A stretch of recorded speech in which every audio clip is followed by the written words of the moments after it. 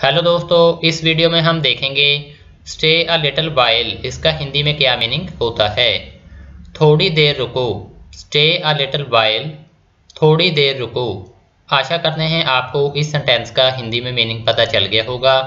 नए सेंटेंस को हिंदी में जानने के लिए चैनल को सब्सक्राइब कीजिए।